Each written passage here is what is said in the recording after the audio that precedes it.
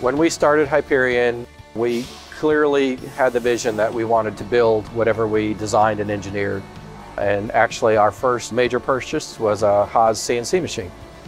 The uh, Haas equipment has always been critical to our growth.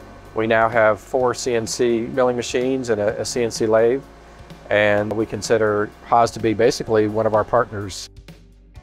I'm Jeff Carter, President and CEO of Hyperion Technology Group.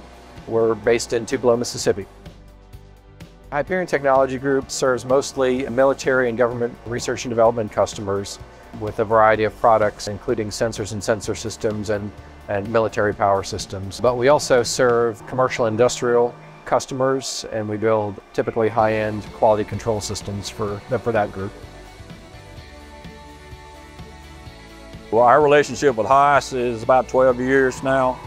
Haven't had any problems. Everything that, that we presented to Haas, uh, they've, they've got a machine to satisfy our needs.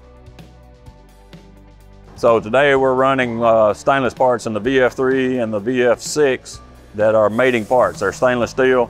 They go together. One of the parts actually mounts to a cylinder and the mating part actually makes contact with the uh, customer's part.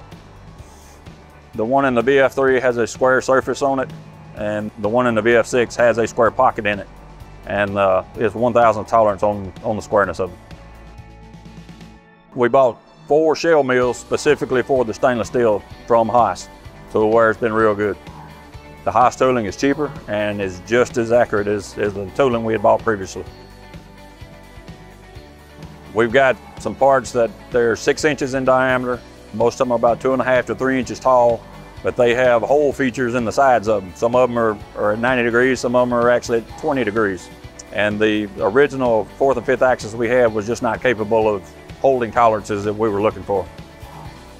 The UMC 500 is, is perfect. We started off, we bought it with the round six inch material in mind. We have since gone to other parts that, that have multiple features on the sides as well. Today we're working on a part, it's, it's not a very complex part, but the squareness uh, is important on two different surfaces. So when we set up, we machine a surface, drill and tap holes in it, we flip it 90 degrees, and we machine a surface and put the, the mounting holes in it. That way we're guaranteed we got a 90 degree part. The camera mount, and uh, the camera, if it's off a few degrees in the system that we, are putting it in, we won't get a, a very accurate view of, the, of what the camera is looking at. One of the, the aspects of R&D is obviously they're coming up with a design and they're presenting it to us to produce that design for them. And knowing the capabilities of the machinery has allowed the engineers to expand their design features because we have expanded our capabilities of machining more complex features. As Hyperion continues to grow, we see our initial vision of manufacturing what, what we design to continue with that. And we anticipate continuing to partner with Haas to supply our, our machines for our shop floor.